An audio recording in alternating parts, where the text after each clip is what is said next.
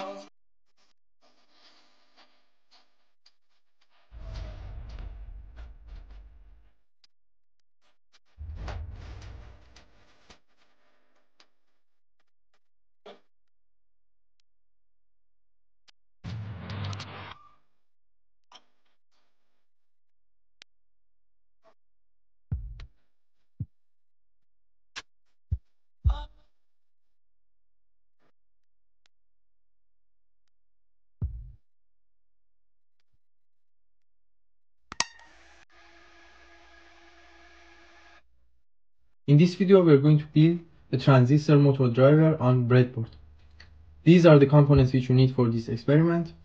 A breadboard, 9 volt battery, a DC motor, BC547 NPN transistor, a push button switch, 1 kilo ohm resistor, and some jumper wires. I'm gonna start by connecting my BC547 transistor to the breadboard. I'm gonna connect the emitter of the transistor which is this one to ground. Next I'm gonna place my 1 kilo resistor to the base of the transistor and the other lead goes to a blank spot on breadboard. Connect my push button switch. One lead of the switch will be connected to the resistor and the other lead goes to the positive rail of the breadboard.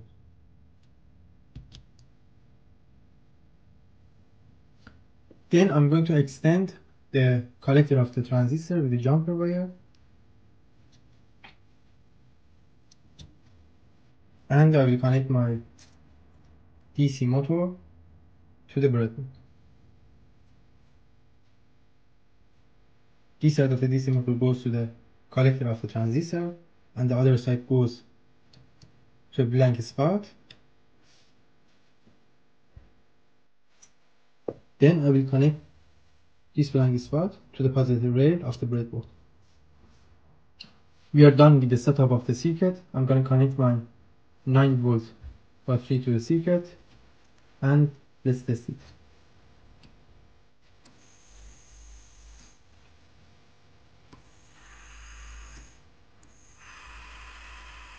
As I press the push button switch, the current flows through the resistor and through the transistor, which makes the transistor on. Since the DC motor is connected to the collector of the transistor, the DC motor is also turned on along with the LED which I soldered it to the terminals of the DC motor. I will do it one more time. Let's see.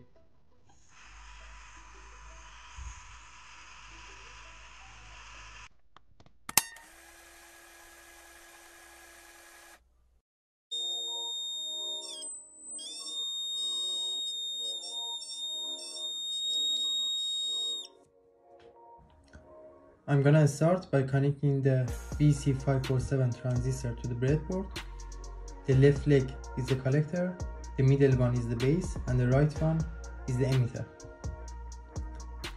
Next, I'm gonna connect my LDR light dependent resistor to the base and emitter of the transistor.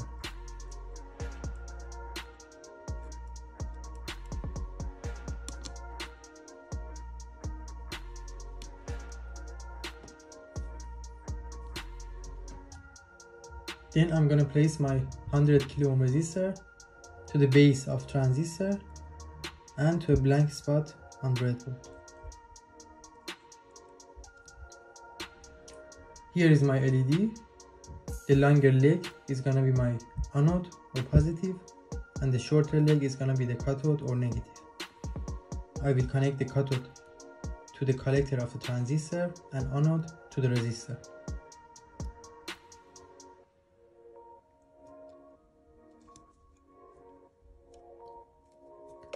Next, I'm going to connect my buzzer to the LED. So the negative terminal of the buzzer goes to the cathode of the LED and the positive terminal goes to the anode of the LED.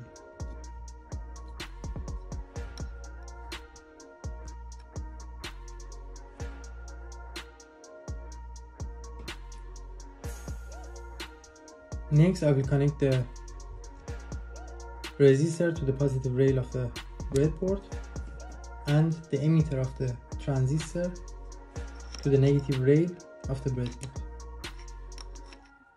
Finally, I will connect my 9 volt battery to the circuit and we are done. Let's test it.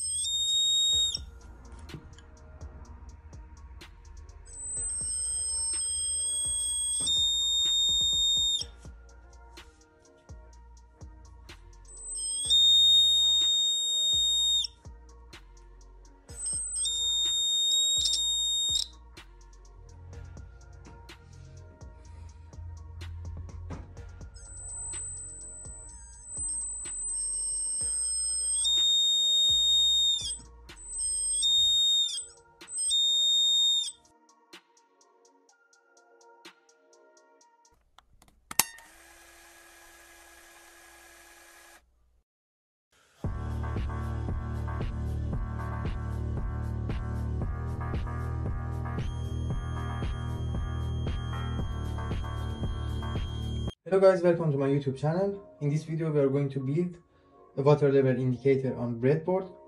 The components which we need for this experiment are a 9 volt battery, a breadboard, 3 BC547 transistors, 3 330 ohm resistors, 3 LEDs and some jumper wires. I'm gonna start by connecting the transistors to the breadboard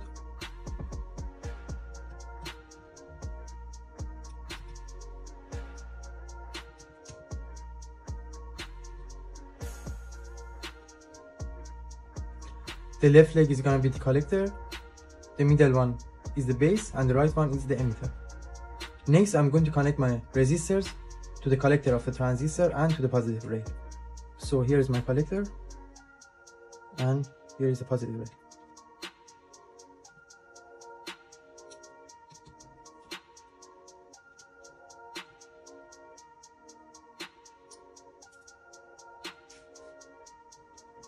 Now I'm going to connect the anode of the LED, which is the longer leg, to the emitter of the transistor.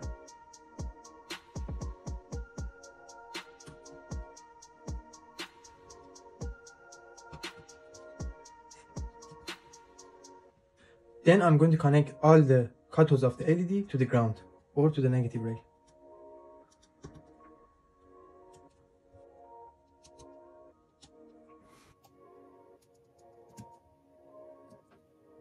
Now I'm going to connect my buzzer to the circuit.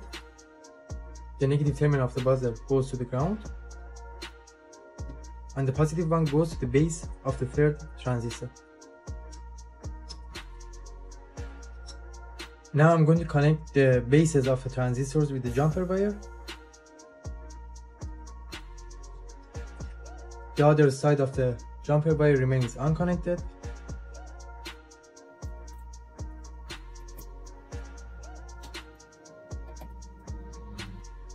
Next, I'm going to connect another jumper wire to the positive rail of the breadboard and the other side remains unconnected. I'm going to connect my 9 volt battery to the circuit.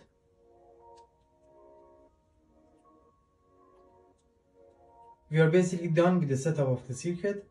I have changed my yellow LED to white LED since my yellow LED wasn't working properly and it was damaged. So I have my glass right over here and I'm gonna place the remaining jumper wires inside of the glass. I'm gonna start by connecting the first jumper wire coming from the positive rail of the breadboard and I will place it at the bottom of the glass. The second jumper wire, I will connect it similarly. I will place it on the bottom of the glass. Now for the next remaining jumper wires, I'm gonna place the jumper wire which is coming from the second transistor at the half of the glass in such a way.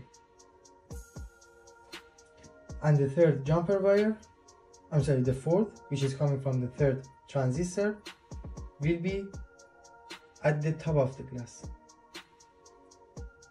Now I'm gonna slowly pour water inside of the glass till the level of the first two jumper bars. As you see, the blue LED turns on. I'm gonna continue to the level of the second jumper wire, which is at the middle of the glass.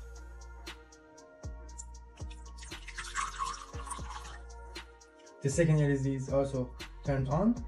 Now it's time for the third uh, LED. I'm gonna pour it till end of the glass. And as you can see, I'm gonna, now it's better.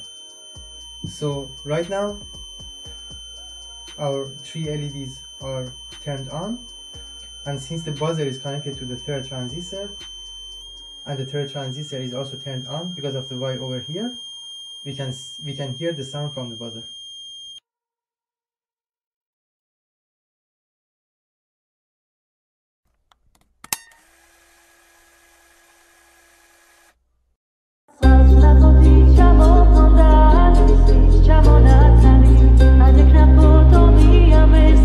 These are the components which I'm going to use for this experiment.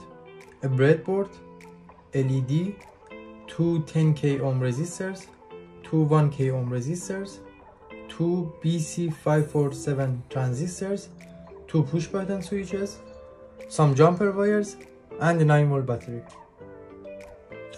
I'm gonna start by connecting my transistors to the breadboard.